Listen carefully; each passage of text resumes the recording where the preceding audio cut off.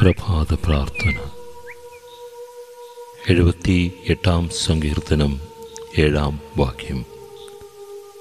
കർത്താവിന്റെ പ്രവൃത്തികൾ വിസ്മരിക്കരുത്. വിശുദ്ധ കുരിശിന്റെ മഹത്വീകരണ തിരുനാൾ ആഘോഷിക്കുന്ന ഞങ്ങളെ വിശുദ്ധ കുരിശിനാൽ അനുഗ്രഹിക്കണമേ.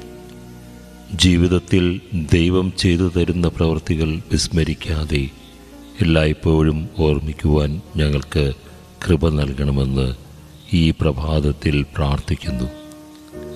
അവഹേളനത്തിന്റെയും നിന്ദനത്തിന്റെയും അടയാളമായ കുരിശിനെ ഞങ്ങളുടെ രക്ഷയുടെ അടയാളമാക്കി മാറ്റിയ അങ്ങേ പുത്രനെ ഞങ്ങൾ ആരാധിക്കുന്നു. മരുഭൂമിയിൽ മോശ സർപ്പത്തെ ഉയർത്തിയതുപോലെ കാൽവരിയിൽ ഞങ്ങളുടെ പാപങ്ങൾക്ക് പരിഹാരമായി ഉയർത്തപ്പെട്ട കർത്താവിനെ നോക്കി നിത്യജീവൻ പ്രാപിക്കാൻ ഞങ്ങൾക്ക് അനുഗ്രഹം നൽകണമേ. ഞങ്ങളുടെ തെറ്റായ മനോഭാവവും പെരുമാറ്റവും മനസ്സിലാക്കി ഇസ്രയേൽ ജനത്തെപ്പോലെ കർത്താവിനെതിരായി പാപം ചെയ്തു എന്ന് ഏറ്റുപറയാനും വിശ്വാസത്തിലേക്ക് വരാനും ഞങ്ങൾക്ക് കൃപ നൽകണമേ. ദൈവകൃപ നിരസിക്കുന്ന പ്രവൃത്തികളിൽ നിന്നും എപ്പോഴും ഞങ്ങളെ കാത്തുകൊള്ളണമേ.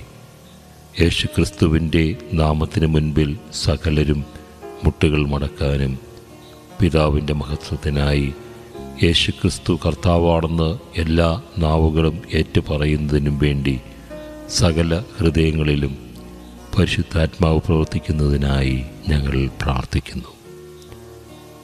പിതാവിന്റെ ഏറ്റവും വലിയ സ്നേഹമായ പുത്രനെ നൽകി ഞങ്ങളെ സ്നേഹിച്ച അങ്ങയെ ഞങ്ങൾ പാടി സ്തുതിക്കുന്നു.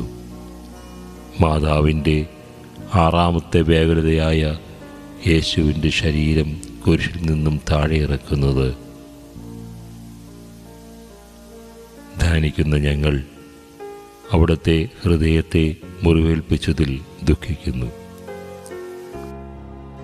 മാതാവേ അവിടുത്തെ സഹിക്കാവുന്നതിലും വലുതായിരുന്ന അങ്ങേ പുത്രന്റെ മുറിവുകൾ കണ്ട് അങ്ങ് അനുഭവിച്ച വേദന ഇന്ന് ഞങ്ങൾ അനുസ്മരിക്കുന്നു.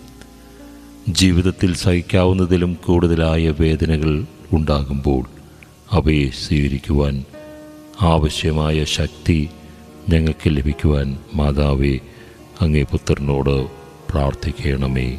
ആമേൻ.